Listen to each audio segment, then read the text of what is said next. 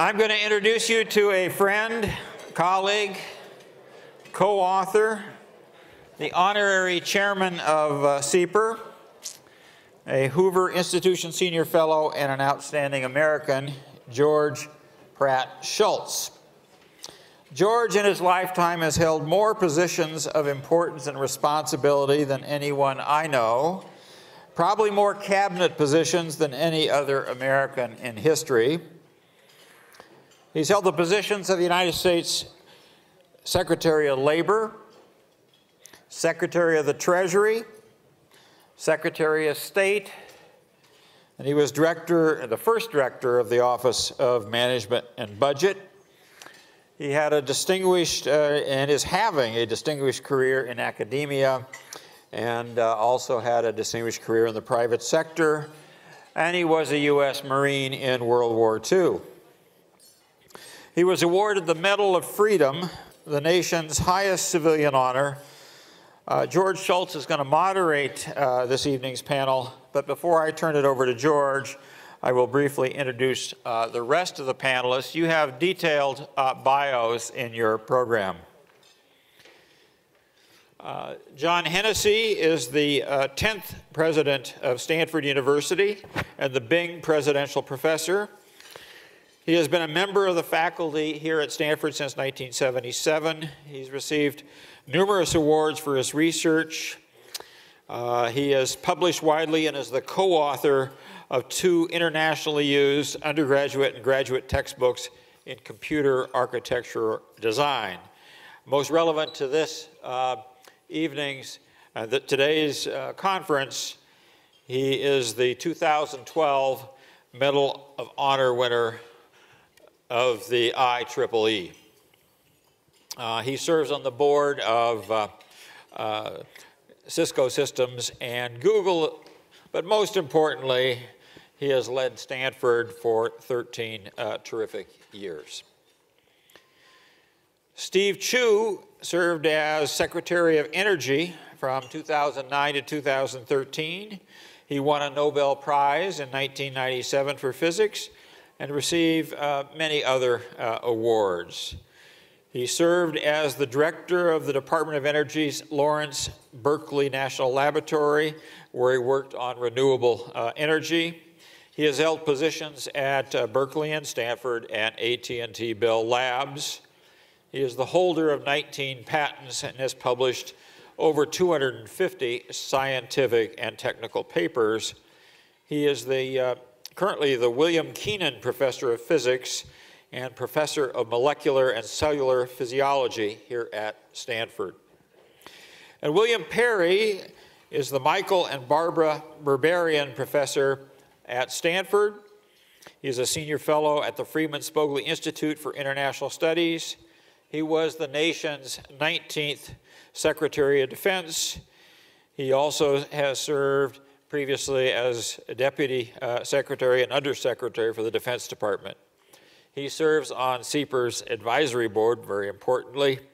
Currently, he's on the board of several high-tech emerging companies, and he also was uh, awarded the Medal of Freedom in 1997 and the Knight Commander of the British Empire in 1998.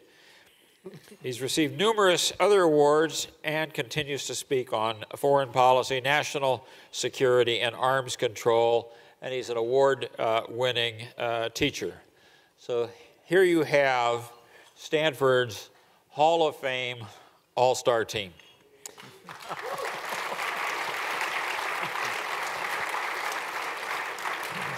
so George, I'm going to turn it over to you. This subject has a long history and a tremendous future.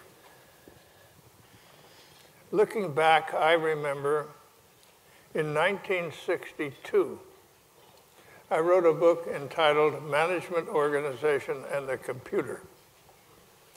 And the argument of the book was you're using this thing to do payrolls and personnel records. Wake up, it's going to change the way you run things. It got a terrific response. My mother bought a copy, but she didn't read it. That was it. Subject was not popular, but it was there. I remember in 1985, I gave a talk to a Stanford group, I was Secretary of State at the time, in Paris, on the information age and its international implications. And Gorbachev noted it somehow. And we talked about how if you continue to run a closed and compartmented system, you would fall behind in the information age. He got it. And I think change came about in the Soviet Union, partly as a result of this insight on the part of Gorbachev. So there is a history. And what we have seen is a development in information technology and the internet and so on that has been a tremendous enabling development. Huge good things have happened. But in the process, there has been created systems. And the systems are vulnerable. So it has been interesting to me in attending this session during the day here that practically all of the discussion has been about what you do about the problems. Nobody is remembering that the reason it's here is that there's so much good stuff coming out of it. So I think we need to remember that balance as we think about the problems. One of the new things that's happened, at least in my preoccupations, is the fact that while diversity has always been present in our world, it has historically been ignored or suppressed. But now, in this new age, you can't ignore it. People everywhere know what's going on. They can organize and express themselves. So the new problem of governance is how you govern over diversity in an age of transparency. And most countries have not posed that problem to themselves. So nothing much is happening, although the problem is there. And I believe that from a governance standpoint, it's going to be with us and we will have to confront it and can be dealt with. At any rate, there are all sorts of angles to this. And we have a terrific group of uh, panelists here. So I'm going to ask each one of them to make whatever comments they choose to make. And then we'll have a little discussion. And then we'll invite some questions and have some fun. So, John, what about it? All right, thank you, George. Shortly after 9 11, I was asked to join a committee talking about what the U.S. research and response agenda should be to the new threat of international terrorism.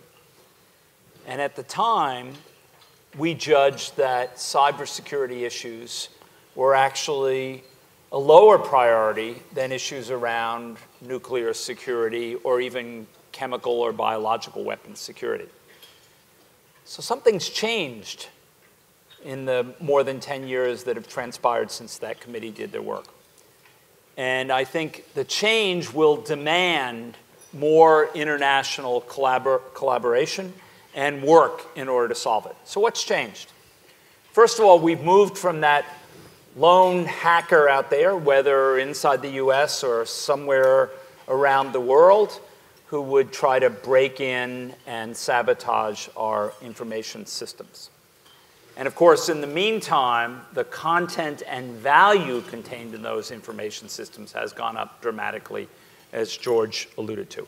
We've moved to a situation where there are now state actors that are either state supported or at least state condoned in the sense that the state knows what they're involved in and doesn't intervene in any way. That has led to a significant increase in resources, a situation where uh, very smart people are trying to sabotage our information security systems. Sophisticated attacks, extremely sophisticated attacks uh, being launched. Uh, scans done. Uh, to put it in context, there are tens of thousands of attempts to get into the university's computer systems every day. Tens of thousands of attempts. Many of those are scans looking for points of vulnerability. Some are attempts to break into individual machines. Some are phishing attempts to get an account to break in. But that's the scale of it, very large. 10,000 a day? Yeah, more, 25,000, Stanford University? 25,000, George. We're Now- just a little, we're just a little academic enterprise. What Yeah. the 10,000? Come on. Be- better or worse, we're kind of the hub of Silicon Valley at the same time. So, and I think much of this is focused on industrial espionage, uh, trying to. So when they broke, when people broke into our systems recently, the first thing they went to was the general counsel's office, and apparently trying to break into uh, accounts which contained information about con- licensing contracts between Stanford and Silicon Valley. Uh, also attempts to go after various individuals who are dissidents, um, who are here on our campus studying or students. Um, recently, we've seen some migration towards cybercrime kinds of activities. Um, the newest thing being a ransomware attack. So this is the newest fad in breaking in. You, you phish an account into somebody's account. You then use that phished uh, ID gotten either through a, uh, an application which provides you access or through their password. Then you go in and you encrypt the entire contents of their computer. The next thing you know is you get a message. If you'd like to get the contents of your computer back, send $10,000 to this account in Uzbekistan. And this is where things are moving quickly.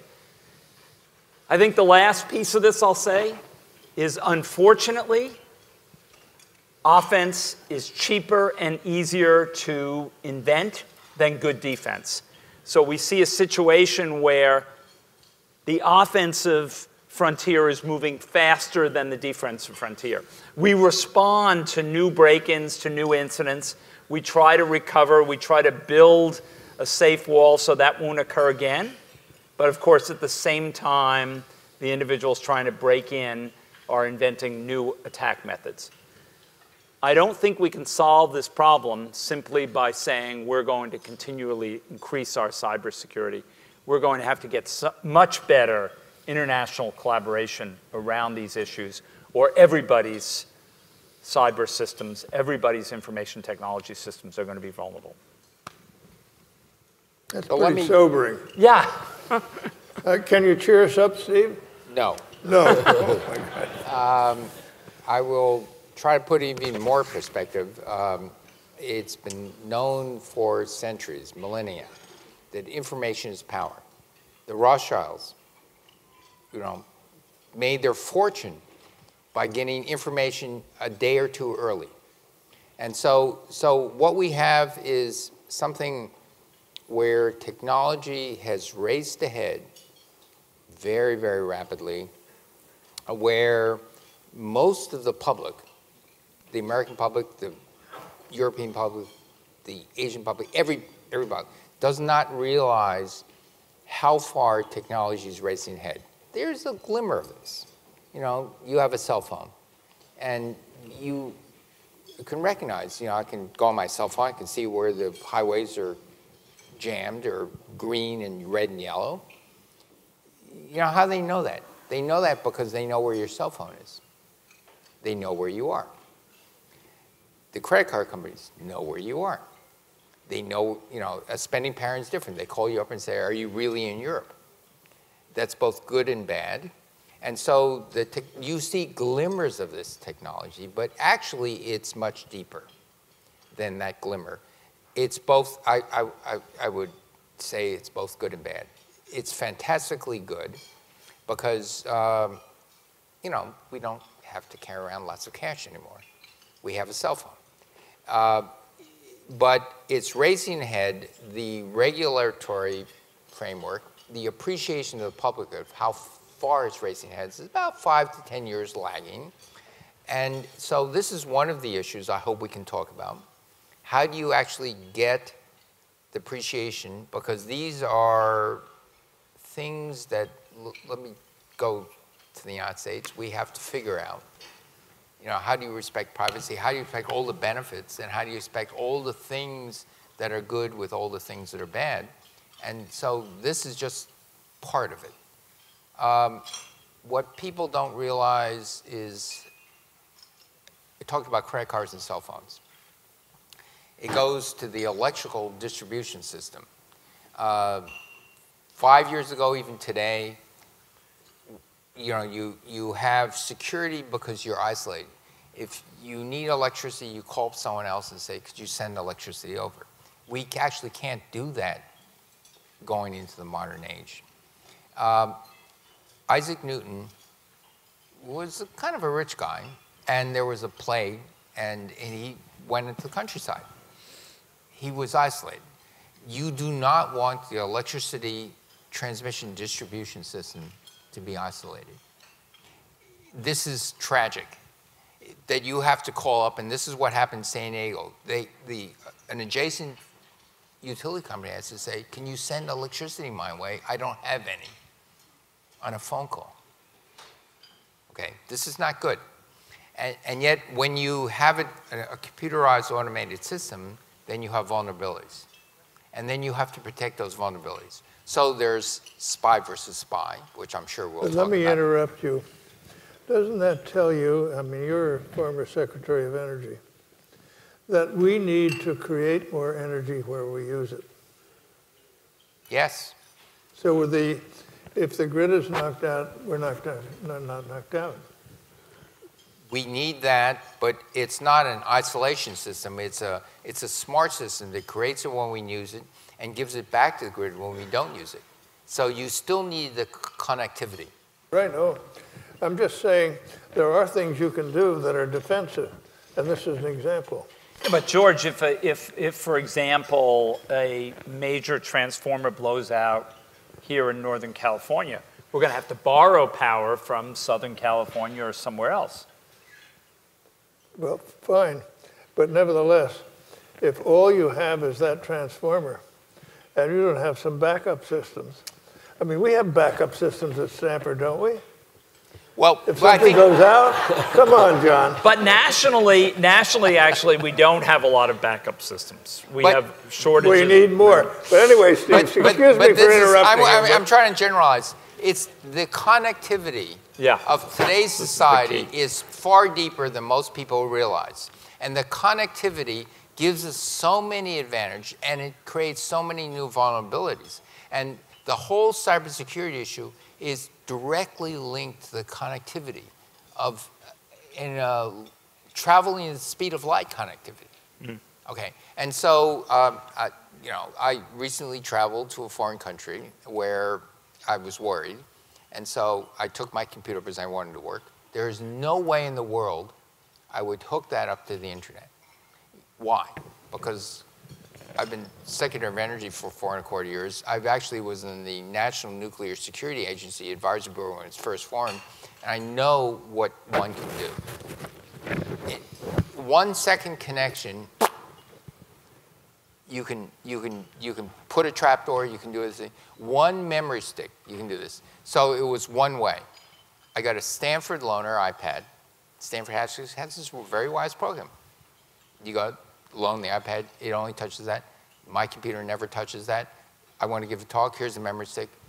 You put in your computer, and I will step on the memory stick. And you don't read your regular email I account. would never read my email on a computer because when you're dealing with nuclear security secrets and you're dealing with all this stuff, you know that one fraction of a second memory stick or that one fraction of a second connection, they can, they can get into you and, and they can put trapdoors and all this other stuff. So here's, I'm going to stop right now with one thing the technology is racing ahead. We don't know what to do about it, but I'm worried about another thing. There's a cybersecurity issue and a cyber offensive issue that John talked about.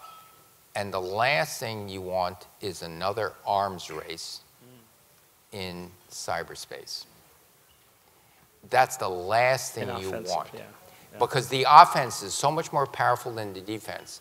And we are step by step going to a big times arm race where we can do this, we can do that, we can put these trapdoors in, we can put this Trojan horse there, we can do all these other things. We can be like Russia did four or five years ago. They, Ukraine didn't pay their gas bill, which shut them down. You know, we shut down the, Russia shut down the entire electricity transmission distribution system until they paid their gas bill. Okay, you do not want those trapdoors and those things in every country in an arms race. And this is the most important thing that, you know, we do not want this. Is there any agency pursuing this currently, Steve? Uh, well, I was Secretary of Energy. I was saying, how do we quietly tell everybody else we don't want to go there? How do you control it? Because if you le- let each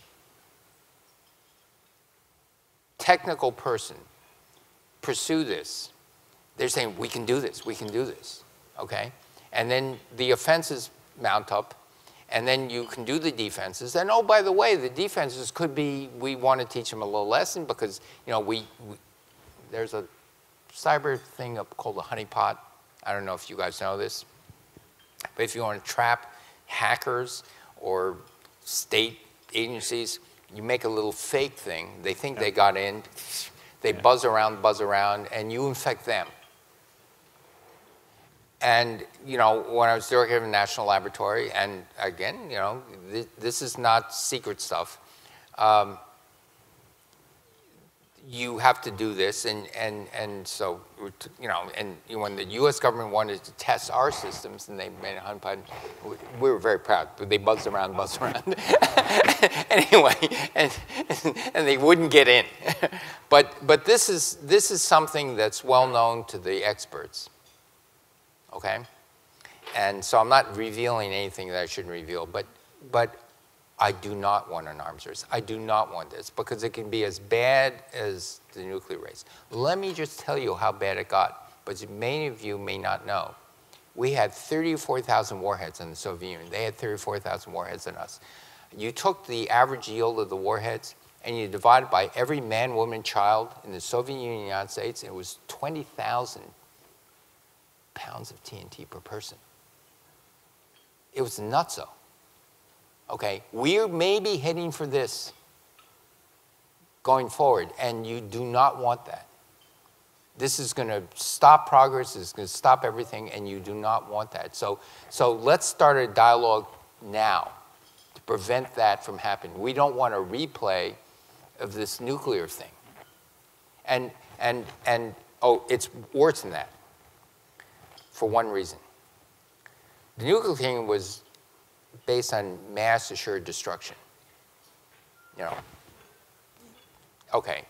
This is much more insidious because it can creep on you much more quietly. And you, it, you think, oh, you know, it's, you're not going to nuke, you know, 10 million people.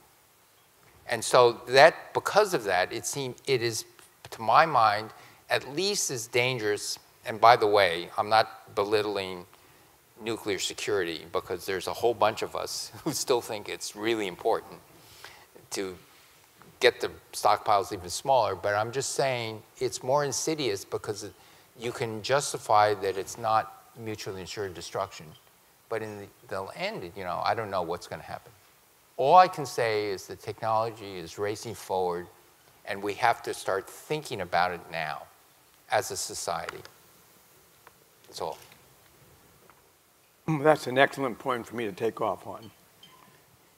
You have heard today and tonight uh, grim stories about cybercrime, about stealing intellectual property, on and on. It's bad and it's getting worse. I wanted to focus on what if we go to the ultimate catastrophe here and have a all-out cyber attack between two pure competitors. And as I think of that, because of my background, I naturally tend to compare it with the Cold War and with the possible of a nuclear exchange between two pure competitors. In the one case, what you're looking at is um, total destruction. In the other case, you're looking at total disruption. No immediate deaths, Right. but total disruption, not just of the infrastructure, but social, economic, and political disrupted entirely. So it's really bad news. I would not compare it with a nuclear exchange, but it's about the next best, worst thing I can think of. So we really, I, to pick up Steve's point, we really don't want that to happen. Looking at the analogy a little farther, in the Cold War, we're looking at a nuclear attack, we really did not have any way of defending against it. The offense had a fundamental advantage. That's also true in an all-out cyber attack. The offense has a total advantage. You can scratch at the surface of trying to do things, and maybe it's a good, good idea to, to do those things, but you cannot defend against it, really, no more than you could defend against a thousand nuclear warheads or 5,000 nuclear warheads coming at your country. Uh, the other, another comparison is we realized in the Cold War how dangerous this was, and we tried to use diplomacy.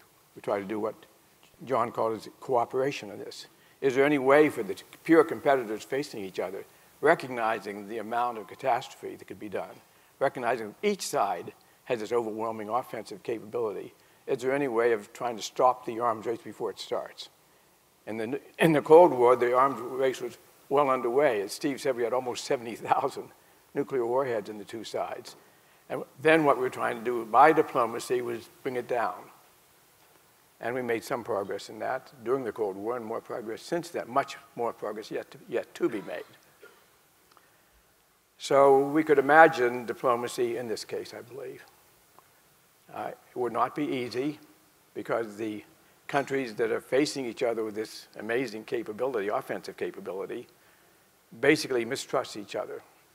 But I would point out to you there was no great trust between the United States and the Soviet Union when the arms control started. It started because both sides recognized the danger, the extreme danger to their societies, and recognized the futility of defending against that. So we had something called deterrence, and that led to something called arms treaties. Is there something equivalent to arms treaties in this field? Can you imagine uh, the United States and Russia, or the United States and China, coming to some sort of an agreement that sets standards and principles that control what you can do and what you cannot do, and both sides agreeing to it, not because they want to be constrained, but because they want the other side to be constrained. And if you did that, if you could imagine taking that step, then you have to further imagine how would you go about verifying such an agreement. And the present internet, that's very difficult to do. So I think it leads you in the direction of heading for maybe closed systems for your most important infrastructures, your most important subsystem. I don't mean to suggest that a closed system solves the problem, but at least it puts you in a better, if you design it properly, it puts you in a better way of being able to verify compliance with agreements. So I see these two issues going together. Uh, the international agreements on what be done, done as a matter of mutual self-interest, not as a matter of uh, a favor to the other country. And then secondly, uh, perhaps using, building a closed system to use for your most important uh, infrastructures as a way of uh, improving your ability to verify compliance with the treaty. So th- those are just a couple of thoughts of how you deal with the kind of problem. I want to take you to the ultimate catastrophe, the possibility of an all-out um, cyber attack by two pure competitors, each of which have enormous, terrible offensive capabilities, which fundamentally cannot be defended against. So it, I think it drives you in the direction of diplomacy and international cooperation, and it drives you probably in the way of having a closed system so you can verify what you're doing. Thank you. Well, that's at least a little encouraging. On the other hand, Bill, in the case of nuclear weapons, it's not that easy for an individual to make one.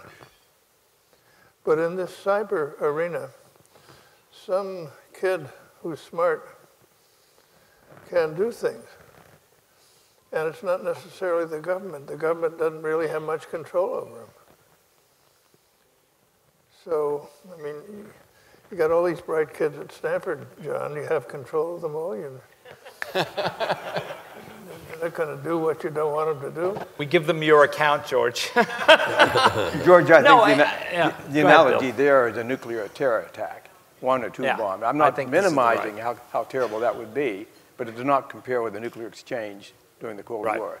So I'm looking at the ultimate case where you have uh, powerful, pure competitors conducting an all-out attack against each other. I don't know what to do about the nuclear, about the. And, and I think. George, you're, you, I mean, I think there is a reality here. Imagine uh, a attack strategy consisting of some code to break into some set of systems can be transferred anywhere in the world right like that. So you can imagine some institution or some group developing this with a lot of support, with a big team, and then selling it to somebody who is going to use it to come after the come after institutions financially or somehow extract money or other value out of it. I think this could happen easily. Could happen easily.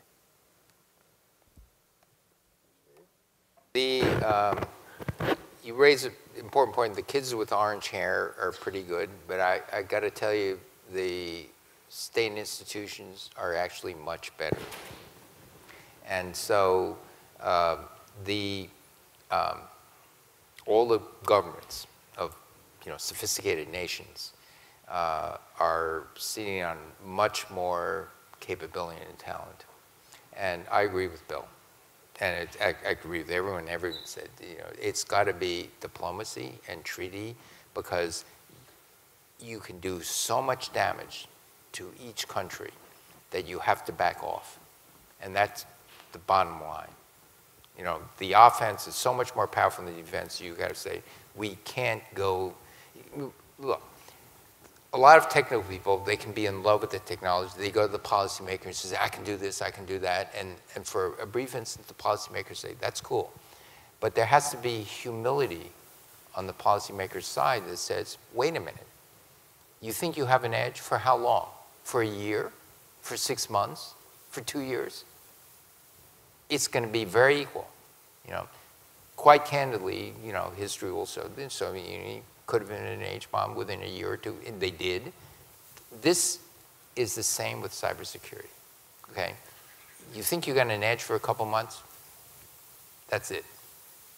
Let's uh, say that diplomacy is needed, and we're going to try to make agreements that will forego offensive actions and so on due to deterrent capabilities. But it isn't like it's only the US and the Soviet Union as in the Cold War. Podunk country over there can do the damage. So you can't just say there's Russia, there's China, there's the US or whatever. You've got to consider Bolivia or Kazakhstan or whatever. So you've got to connect, your, your net, diplomatic net has to be very wide. It's almost like it's a UN thing, although that's not like you're going to have a lot of confidence in most UN organizations, although some work pretty well. Um, so, you know, I don't want to monopolize, but I don't have full confidence in the UN diplomacy, but I would say that there's a minor counteroffensive that countries can do to say, you did this, you know, w- Yeah. we're not going to shut down your electrical system, but we're, you know, we'll put a little sting. And, and so that's the part that I'm a little bit worried about because when do you stop the sting Yeah. from becoming a- a dog bite, from becoming bigger? Because that's where I see the escalation. So there the- is a the problem stick here, is- The stick is most effective if it's clear, I did this to you Oh, on no, purpose. that's and very clear. Don't worry, I can we, do more. We, we can do that. We, we, can, we can figure that out. I think, I think the issue is it's the counterpart of Pakistan selling nuclear technology to North Korea, right? It's some established state that has a big investment, that has technology, and then sells it to a rogue state. And what do we do about that? Because the rogue state doesn't have a large IT infrastructure. There is no retaliation that they necessarily are so worried about.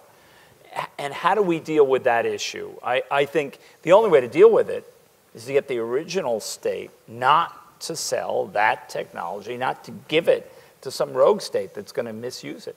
John, let me pick up that point and notice that the analogy in the nuclear field is something called the Nuclear Suppliers Group, Right. where the people who can make the technology come together and, and agree not to sell it to certain people. It, it works imperfectly, but it's a, a hell of a lot better than if we didn't have it. Absolutely. So we need something like the Nuclear Supplier Group in this area. And again, it's part of the diplomacy that has to be set up. Does anybody out here have anything nice you'd like to say or a question you'd like to ask? this How about some good news? Group? Responsible disclosure, hackers already. Wait a minute, we can't hear you. Let's get a microphone over there. There's one. That's called responsible disclosures. Hackers already have it. That's what we do to release cyber weapons to the, to the world responsibly right now. Yeah. Could you elaborate on what you just said? So, uh, Yeah, we are talking about there being rules and ethics, and I'm saying that they already exist. I, I help organize Zero Days for DEF CON, the largest hack organization in the world, and we have rules and ethics and how these are, are released to the public. But I can tell you that there are a hundred guys in a basement that can deliver one of these within a month. So, Yeah, I, I, I mean, we get into this interesting dilemma of what happens if somebody knows about a vulnerability? Should they publicize it? Because then everybody can begin to build defense against it. Or should it be kept quiet? Because the minute you publicize it, some bad actors may try to use that technology. And this is a, I, I don't think there's a simple answer to this problem. It's a very tricky issue. it, it's even worse than that. I think um, there are some people who find vulnerabilities and they quietly tell people. And there are other people, it's a badge of honor, you know, I'm brilliant, I can do this. And, and we have many examples of one day an exposed vulnerability and all, all the security guys land on it. But that one day is too long. The one second of the memory stick into your laptop it's done. They've just infected you. anybody else anywhere around here? Are there any microphones? Here's a question. Here comes a mic. Why don't you say who you are so we know where you're coming from? Yes, thank you. Uh, Greg Austin from the EastWest Institute. Uh, Secretary Chu, I really enjoyed your remarks about we don't want an arms race, uh, but in a sense, like to turn that to a question to Secretary Perry. The, what would be the significance of the proposition that the Chinese government believes that the United States government has penetrated its strategic command and control of its nuclear forces through cyber methods on strategic stability between the United States and China, or a similar proposition between uh, the United States and Russia. So, in a sense, it's going beyond the idea that we don't want an arms race. Uh, we really don't want strategic nuclear instability of the sort contemplated in the remarks by the former Vice Chairman of the Joint Chiefs of Staff, General Cartwright, that the United States seeks the capability to disarm its nuclear missile adversaries in milliseconds. So how do you position that? So arms race is not maybe not the problem. Maybe the problem is what's happening operationally to destabilize and create insecurities with these nuclear missile forces. So, so um, let me let me start by saying there's there's that arms race, and if it's just this Russia and China, actually, I th- they're I have enough faith they're not going to do that, to, to do something like that. But but there are other countries, smaller countries or terrorist groups, where I don't have faith. Okay, so so but but that's the point that you can lay if you have cyber, you know, technology, you can lay these Trojan horses in systems, whether it's the nuclear missiles or the electricity and distribution system or the gas and oil pipelines or, or the air controller systems, the financial systems, everything. And you can, if you can lay these trapdoors and say, you know, I'm really, I've had a bad hair day. I'm going to bring down the FAA for a day. This is not good, right? There's lots of planes in the sky. So, so, so I think the capability, so the capability goes from sophisticated people and on down, and it's the arms race, the sophisticated, and the nation states are actually better than the kids with the orange hair, but there are some kids with orange hair that are pretty good. But in the end, you know, what do you deal with this? Because it's this crazy, democracy is the wrong word, it's uh, free for all, where, where these capabilities trickle down. And so, on the one hand, I think we can do a lot to get the defenses. As Bill said, there's some systems that are going to just have to be isolated. You know, the electricity transmission distribution system, as our nuclear security is isolated. and and uh, you know, and the electricity transmission distribution in the United States has to be firewalled. And you've got to do a few of those things. You just cannot do that because, Right. you know, and so that's that's what will happen. Bill, do you want to comment on that? Well, during the Cold War, our treaties were not only bringing down the number of weapons, but they were trying to achieve something called strategic stability, which is the point you were raising. And basically, strategic stability meant having configuration of forces that reduced the incentive for a surprise attack. It's hard to think of an analogy in this field, but the concept would be the same. You want to reduce the incentive for the other side to launch an unprovoked attack. And the diplomacy should be focused not only on trying to keep down the numbers and the kinds, but focused on what you can do to reduce the incentive for the other side. And that's going to be less technical, I think, than it's going to be diplomatic and political. So I think it'd be interesting to put this in context. Who thinks the computer system that they're using today and tomorrow and the next day is clean, immune from, there is no attack has been launched on that system. It's perfectly secure. Anybody? Good, I'm glad, because the average time between an entry attempt when somebody breaks in and the time it's discovered is six months. And I think this is just going to get worse. You're going to see, as Steve alluded to, people leaving trap doors and not activating that trap door until much later. And if they compromise the core of the system, that's a, not such a hard thing to do. And so imagine now a, a ransom attack where they don't tell you that they've taken over your system for a year. And now every single backup file that's been written of your system for the last year is unreadable. You've lost all the data for a year. And then they say, oh, by the way, I need $20,000 sent to my private account somewhere. I think this is what we have to worry about. It's going to get a lot worse quickly, and we're going to have to change personal behavior. The bad news is security and ease of use don't go together. Your life is going to get more complicated.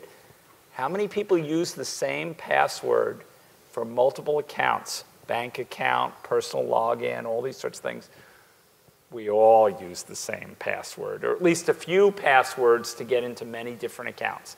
That's going to be a major point of vulnerability in the future. We're going to have to adapt in ways that are going to have to force a change in how we operate. And I don't think we have an alternative here. Let me just amplify that. You know, started as director of Lawrence Berkeley Lab, and um, and then as Secretary of Energy.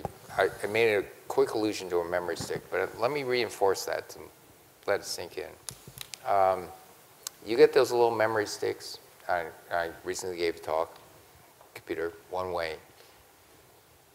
You're going to put that in. I'm not going to hook my computer up to your system. And after that, I threw it in the trash can because we knew 10 years ago that one second of that memory stick could infect you and at that trapdoor and your computer and your computer system and the Lawrence Berkeley Lab computer system and the University of California computer system is compromised. That's it, okay? One second. It's, it's like I just coughed on you, except it's much quicker. And so that technology existed 10 years ago, as far as I knew. Okay? It exists 10 years ago. So, so um, you know, uh, who is it? Andy Groves has said only the paranoid survive. You know, this, in cyber stuff, you know, be cautious. Yeah. Anybody else over here? Back there, George. Let me, uh, Way back there. Okay, way back. Here, here's a mic. Getting two at the same time. Uh, I would Speak like to up, come. Speak up. Can you hear me now? Yes. Excellent. Uh, I would like to come back to the uh, uh, arms race, this uh, cyber arms race, and I just wanted to ask uh, Secretary Chu and Secretary Perry, isn't it too late? I mean, haven't we already embarked on on this uh, path towards a cyber arms race? The the train has left the station. Looking at the last couple of years, I, I would I would make the point that we have to now START to think about how we can uh, establish something like a cyber start or a cyber assault uh, uh, uh, process in order to limit the damage that can ultimately be caused. Yes, it's already started. Uh, That doesn't mean it can't get a lot worse. Uh, Again, using the analogy of the Cold War, the first thing we did in arms control treaties was just try to cap so it wouldn't go any farther. Then we started working to bring it down. It was a long process and it was an imperfect process, but it was at least moving in the right direction. Uh, George was the uh, Secretary of State at the time. Some very fundamental reductions were made in nuclear weapons. First time that had happened, is, uh, I believe. So it can be done uh, by analogy, and I think it can be done in this field as well, but it requires diplomacy very, very different than we have today. And it requires all the nations who are going to be involved in this diplo- diplomacy understanding that it's their infrastructure, their society they're trying to save, and that they can't have it both ways. They can't have be able to save their own system without being willing to help save some other nation's system as well. So um, I agree with Bill. We are in an arms race. You know, four years ago when I became Secretary of Energy, quietly in the government said, we are in an arms race.